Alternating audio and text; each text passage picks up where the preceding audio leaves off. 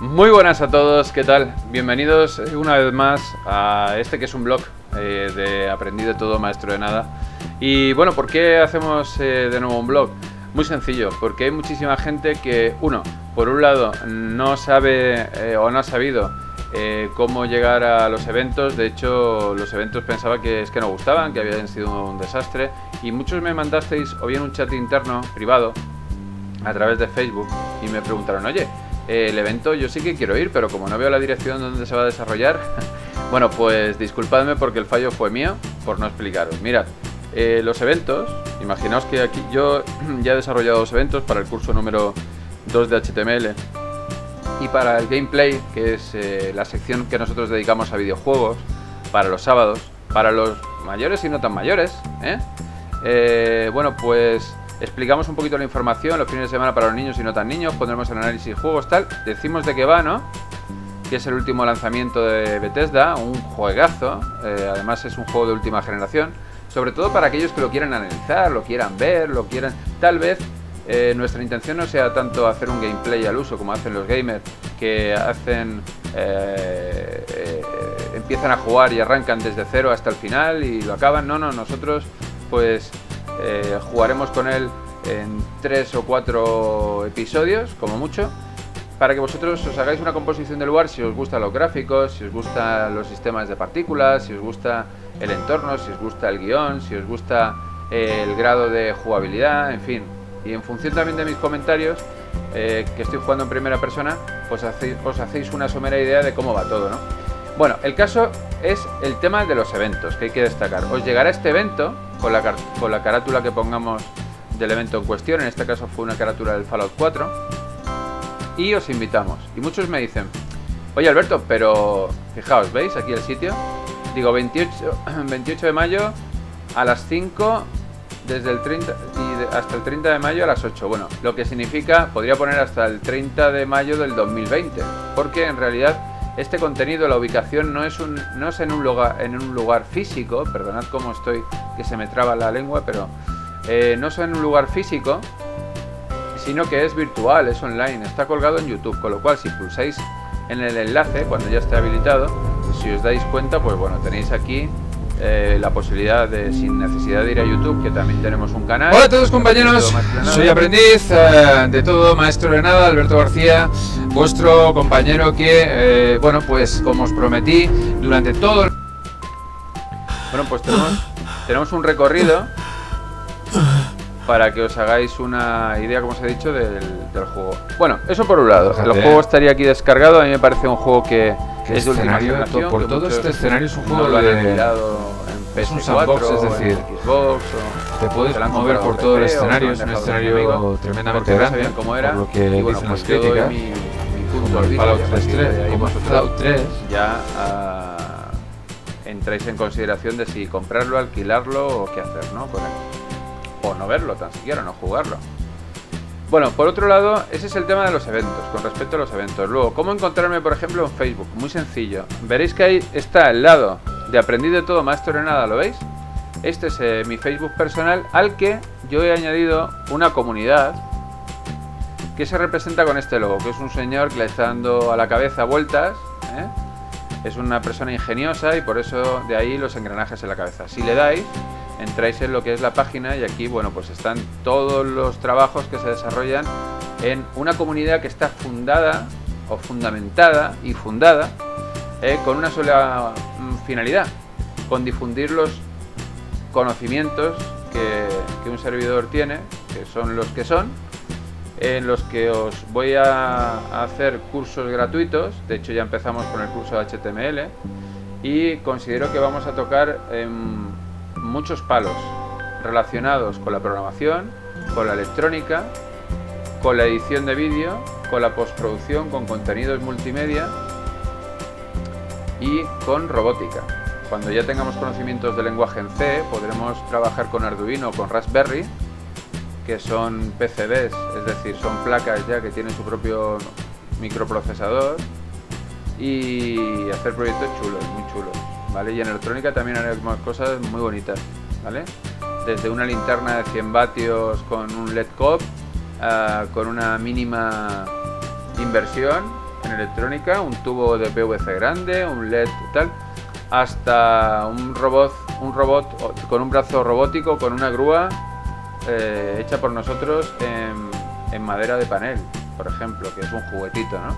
Vale, bueno, pues se pueden hacer mil cosas y cosas útiles, por ejemplo, domotizar tu casa, cómo domotizarla, os voy a enseñar cómo hacerlo.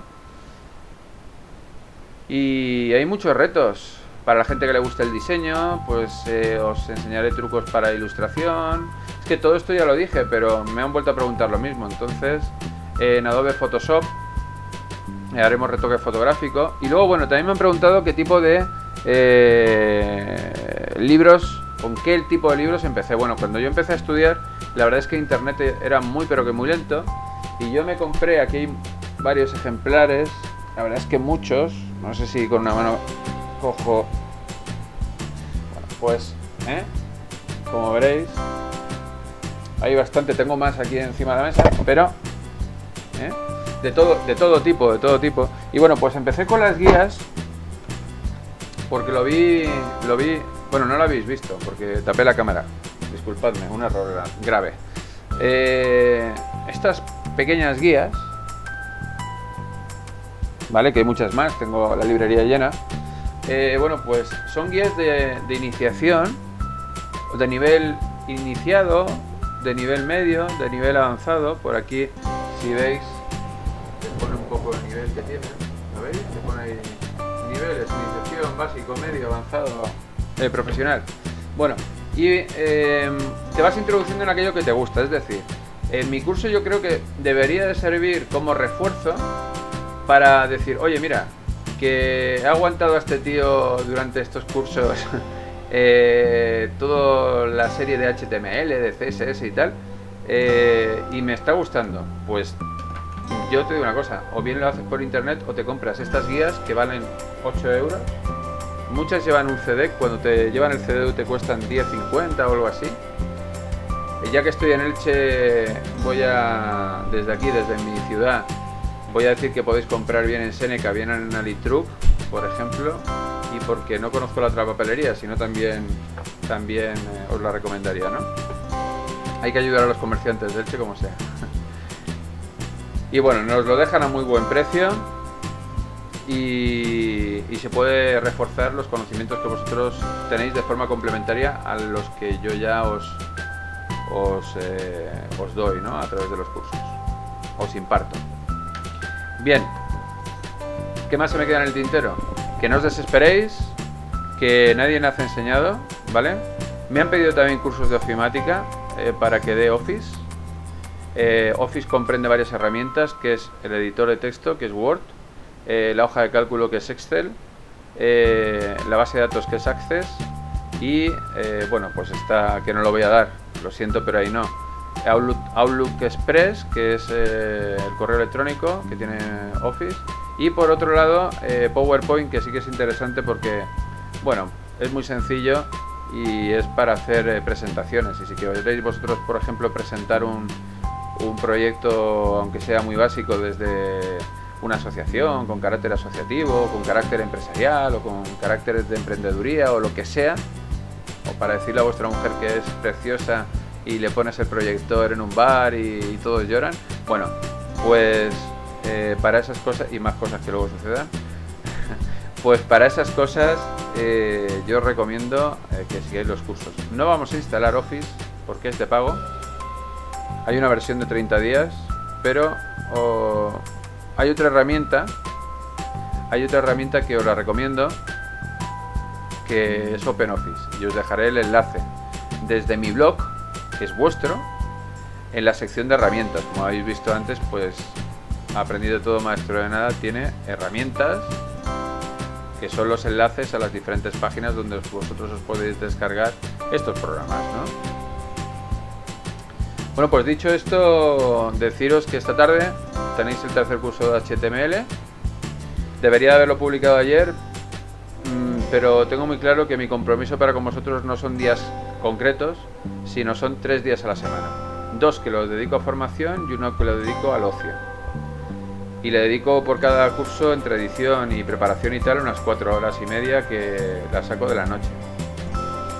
Así que bueno, eh, lo dicho, que espero que seáis consecuentes, que seguro que sí, y, y os resulte de utilidad. Hay gente que dice, no, es que a mí me gusta que me valoren el trabajo. El trabajo yo creo que, que si resulta útil y la gente te sigue, ya estás suficientemente bien remunerado, aunque no sea económicamente, ¿no?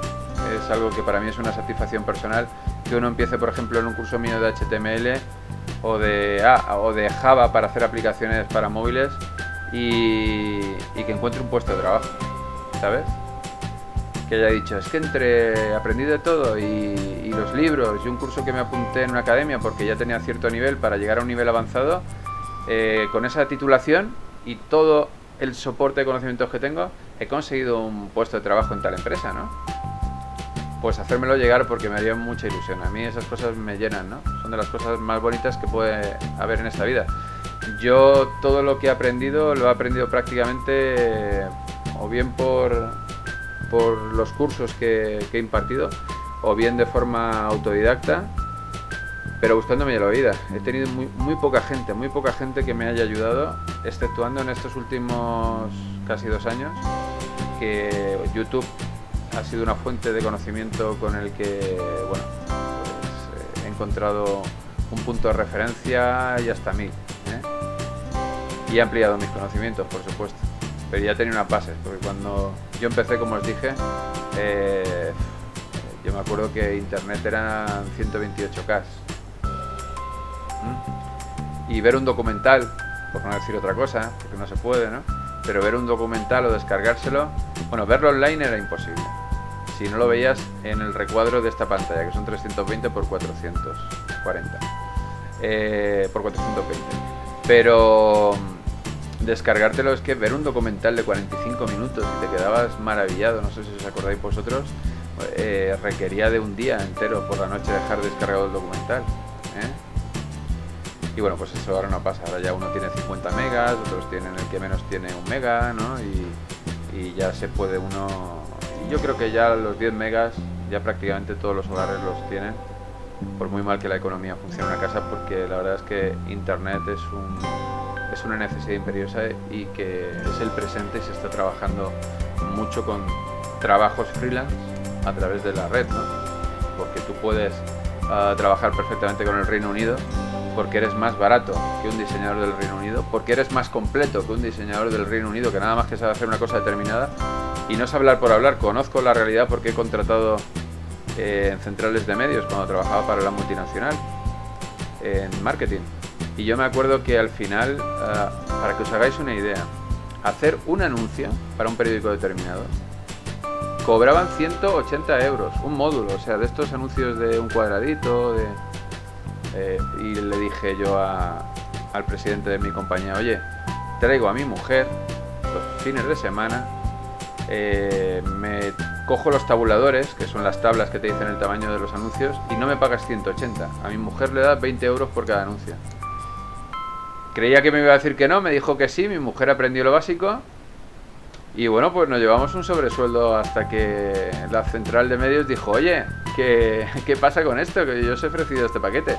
Le explicamos que lo hacíamos desde el departamento y bueno, pues bajaron se bajaron los pantalones y fueron un poco más consecuentes y, ya pues no merecía la pena porque ellos incluso ponían un banco de imágenes para los anuncios que yo tenía que buscarlos por internet y un banco de imágenes con las fotografías los derechos de publicación pagados, ¿no? cosa que nosotros teníamos que hacerlo bien con la cámara, yo salir a hacer fotos a la gente o, a los edificios o lo que sea, y ellos ya lo tenían predefinido, con lo cual ya no compensaba. Se me acabó en ese aspecto el chollo, pero por otro lado también mi mujer descansó un poco más, que se lo merecía, ¿no? Después de trabajar, trabajar más, aunque estaba conmigo y con la nena que estaba por ahí dando vueltas por el estudio, pues eh, bueno, se agradeció, se agradeció todo. Yo siempre veo el lado positivo a todo. Un fortísimo abrazo a todos y Cody, ven, ven, que mi perro quiere salir en la publicación. Por cierto, quiero reivindicar una cosa. Ven aquí, cariño. Ven, ven, está estirando, siempre que lo voy a coger se estira. Es un bichón maltés toy de estos enanos que no me gusta decir comprar porque la verdad es que es feísimo decir, es feísimo decir comprar, pero sí que mi mujer se encariñó con con esta mascota, hace ya seis años y medio, aunque lo veáis tan pequeñita, es súper bueno. Eh, Cody se llama, se hace famoso. Y le encanta el ordenador, es decir, cuando me ve programando, quiere subirse a la mesa, le limpio las almohadillas y, y le pongo una telita y tal, y la subo a la mesa y se queda mirando el ordenador hasta una vez te tocó el teclado. Digo, yo creo que me ve y quiere programar, ¿no? Eh, bueno, reivindico una cosa desde aquí. ¿Verdad que sí, Cody?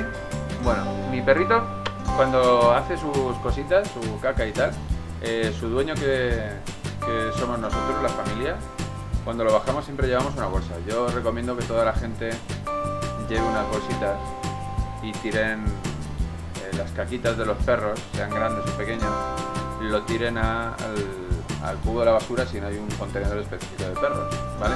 Pero por otro lado también reivindico que haya más sitios ah, para perros para que puedan ellos correr y pasear libremente y así nadie se quejará que sí que los hay en Elche, pero muy pocos. Estamos hablando de tres sitios para perros o como mucho cuatro y no están, eh, no se han preocupado en hacer un plano para determinar dónde están esos puntos para ocio para los perros, para que puedan estar allí jugando todos y tal. ¿eh? Lo dicho, un fuerte abrazo, nos vemos. Cody, saluda a la pata. Venga, mira hasta luego. Un beso, nos vemos.